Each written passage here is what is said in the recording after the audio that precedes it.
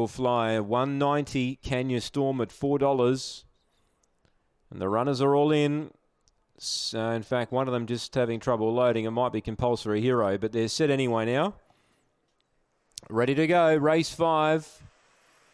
Set racing. Kingsville Flyer began well. Compulsory Hero bombed the start again, and Kingsville Flyer led by four. Kenya Storm now ran to second.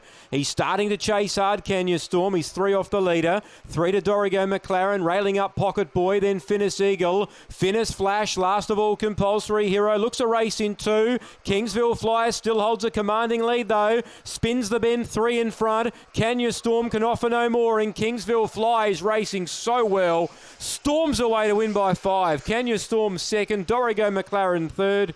Uh, Finnis Eagle grab fourth from Pocket Boy, Compulsory Hero, Finnis Flash. And the time is around 30 even. Kingsville Flyer, Clint Trengove's got him going really well.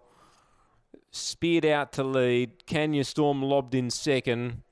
He chased hard, but had no answers for Kingsville Flyer, who kept running and takes out the fifth race on the program. One Kenya Storm stuck on well. And six Dorigo McLaren will get home and snatch third. 2 1 6, 8 fourth, and that is Finnis Eagle. Time is 29.96. A good run, terrific run. Six and three quarters by half a length. Two one six and eight. The placings here on the fifth.